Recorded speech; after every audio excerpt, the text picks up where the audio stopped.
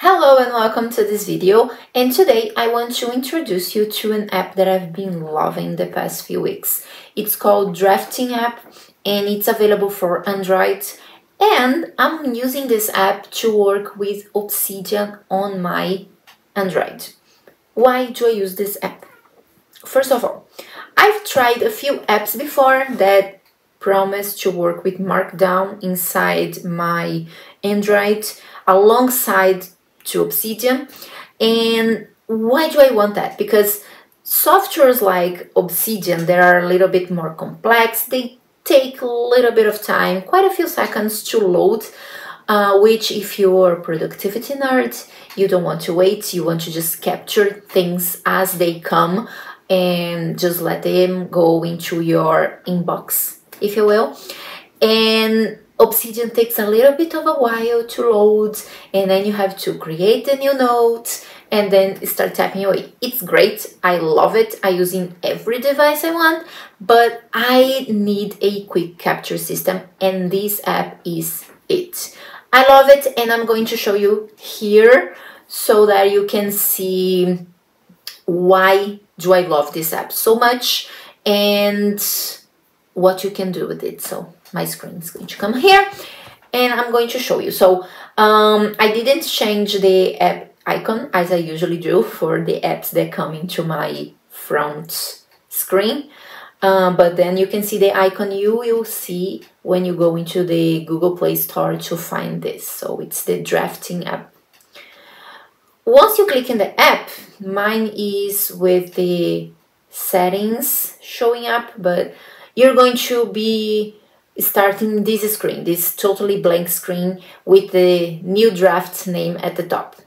And this is just it. It's just a blank page that you can click and start typing away and it's going to create your new notes. Super simple, no more than that. You have the menus at the bottom uh, for like archiving, editing, highlighting, and bold and italic, and all those things that you also have on Obsidian what makes this app great is on the settings. So let's go to the settings and see a few of them that I think make this app great if you work with productivity and knowledge management on your Obsidian. The first set of default uh, settings is about the location. So you can set three locations for your notes. One for new notes created, one for archived notes, and one for templates. I personally don't use archived notes. There is not a concept that exists in my system. Everything goes into a specific folder. So I just set my default location and I just set the same location for the archived just to be safe. Anything goes there. But I don't use the archived thing really. If you do, you have this here as well, so you can use it. And templates is the first thing I love about this app because any other app that I used, um, they could manage Markdown, but I couldn't use my templates. And I use daily templates. I use templates for specific notes. Uh, if I want to create a note really fast, I want to put my template on it because when I'm going to process, it's going to be easier. I don't have to put the template and then adjust the content that I had written before on the template that I put at the time. I just want to create a note with the template and then start typing. And it allows me to do that as you can see on the screen. So you can set the folder. And it's just as simple as clicking on it and waiting for the pop-up screen to show you your file browser so you can choose your uh, folder and you can click here at the top to go around all your folders. These are my folders on Obsidian and I just select the templates one and click select. It's going to be here. You do the same for the other options. Then you have some options for the draft like default name default extension and things like that also, something great about this app is that it's very, very intuitive. So if you go around these options, there is the name of the option and a little bit of a description of what it does. So, you know, and it's quite easy to navigate around it. The one I want to point out is the default file extension. At least for me, when I downloaded it, it was in text file, not on Markdown. So I made sure to put it on Markdown because it's the file Obsidian uses and is the one I prefer to use as well. So just that reminder for you. And I unchecked this timestamp at the top because I don't want the timestamp to be showing when I create a new note. As I said, I have my templates and I like to use them. So I don't need this. And then you have some settings for the editor and you can just select sizes of fonts and all those things. If they finish they close the brackets and all the parentheses and all those things when you put one it's here. I leave it marked because I like to use that function to uh, save a little bit of time. Uh, then you can define heading sizes and you can have some options here about file management within this app. Also, you have some other uh, settings here, but as I said, they are very intuitive. You can go around them. They're they make the app super great so you can see what fits you and what doesn't fit you. One other thing that I want to show you in this video that I think is fantastic because I've been using it is this custom menu. As you can see, I have two lines of a menu sort of thing for editing the file and working with the file. The first one is your primary menu, let's say, and the second one is the functions or the actual items you can use to edit or do some changes within your notes. And if I click on any of the icons at the top, you're going to see that the options change. So it's like master menus. So you have this one, which is a custom one. I'm going to talk about it in a bit. You have the archived one, which handles copy, paste uh, files, locations, and uh, your favorites and things like that. Then you have the editing one with like the headings, bold, italic, and all those things, and creating checkbox and whatnot. Then you have the editing of blocks, so you can move things up and down without having to copy and paste. You just come here and you can see you have options to move a block up or move a block down or things like that.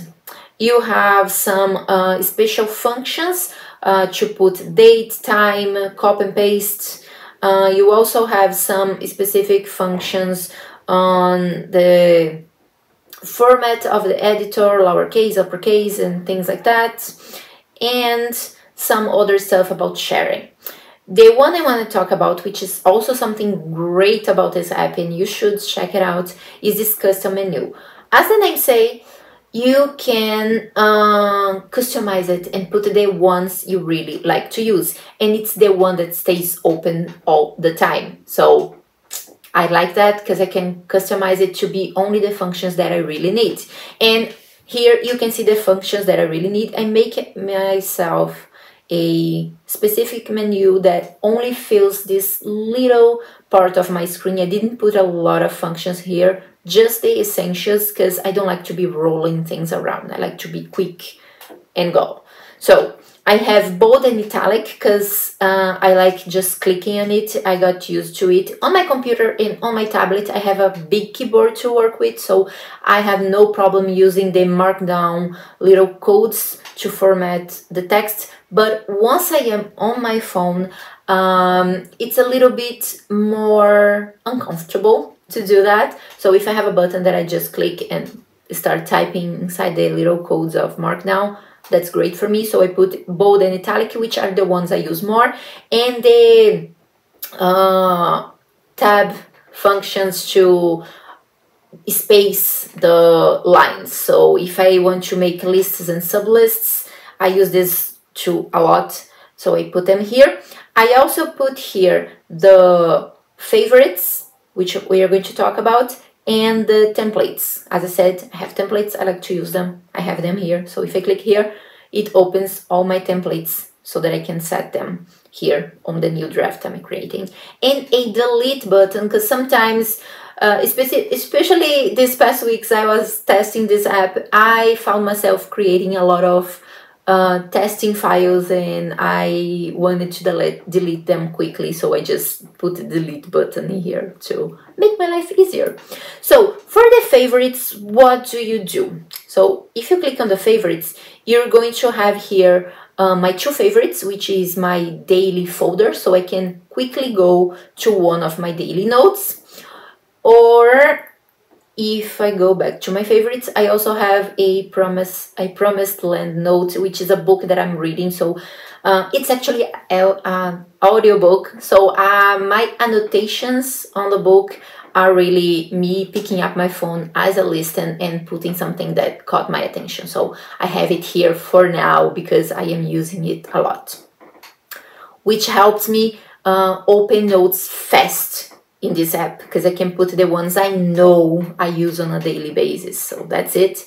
And on the bottom here, you have the option to add more things to that uh, menu of favorites there. So you can look into these folders to find the notes or the folders. You can favorite specific notes or specific folders, which is great because um, I put them here in the daily notes, for example, is something that I access every single day and I want to, and it changes every single day because every day I have a new daily note. So I cannot just put one daily note as my daily notes because it's going to change tomorrow. It doesn't make sense. So I put the folder and I set the sorting on the folders to be the last uh, edited file. So I always have my most recent daily notes on top. Okay? And you can do that by going to the settings that an op there is an option there to do that. So my final review about this app as you can see I, I already told you what I liked most about it but it's a really nice and fast app to work with quick capture. It's uh, easily integrated at your Obsidian on Android. I particularly don't use Obsidian Sync as the recording of this video. I'm thinking about trying it, but I use a uh, way of syncing my Obsidian Vault that I put on Google Drive into my phone and things go both ways.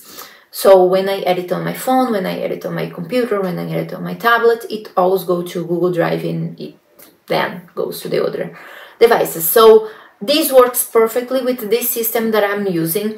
Uh, as I said, you can set your default locations, your favorites, create your own editing menu here on the front screen, and it, it has zero friction. At least the way I work, it's zero friction. It's great because I can just open this app and it's going to open a new file. Uh, it even open up my keyboard and I can just start typing. I don't have to click on the screen to start typing on my keyboard. My keyboard is already up. I just put things down and then I close and I go about my day. And when something else comes up, I go there again and do the same. Okay. Uh, this is what I think about this app. I'm totally going to be keep using it. I hope you like this video. If you try the app, if you have any questions, drop them down below. And if you like this video, please give it a like because it helps me a lot. I hope to see you in future videos maybe. Um, and bye.